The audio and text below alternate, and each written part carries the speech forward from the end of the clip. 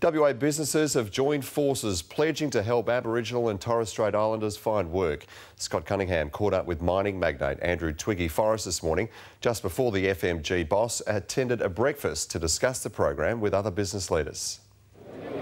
Good morning, Tim. Well, business leaders from around WA are already gathering here this morning. Now, there's 75 business leaders that have pledged their support for this program and aim to help uh, fill 5,000 jobs for Aboriginals and Torres Strait Islanders. Now, pioneering this program is Mr. Andrew Forrest, and he joins me this morning, and this is definitely a worthy cause. Yeah, top of the morning. It's a wonderful cause. It's way more than a cause. This is employees and businesses getting behind Indigenous people across Australia in the only way that will ever end the disparity completely in a person's life, and that's with a job. You spend a lot of time yourself out with, in remote communities speaking to these people. I mean, how hard is it to try and find them work? It's really not easy because um, government policy and social services and welfare policy tends to fence people into where they are. We tend to kind of secure them in remote communities where there's no employment.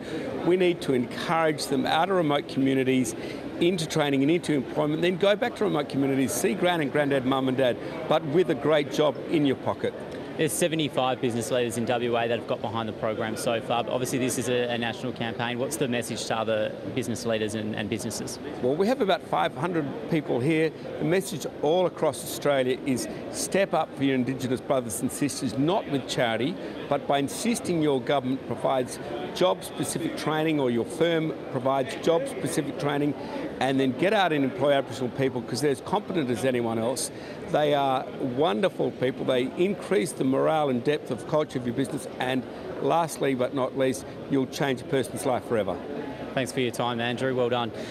Tim, now there's obviously the business leaders are going to this forum now. They're, they're aiming to have 5,000 full-time job opportunities for Aboriginal and Torres Strait Islanders. Tim?